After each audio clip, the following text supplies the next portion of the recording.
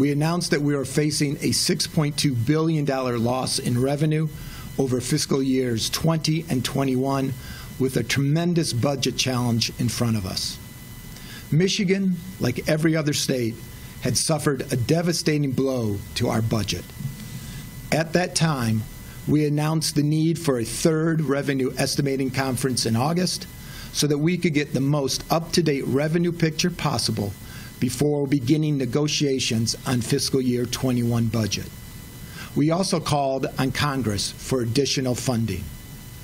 Those two things still hold true today.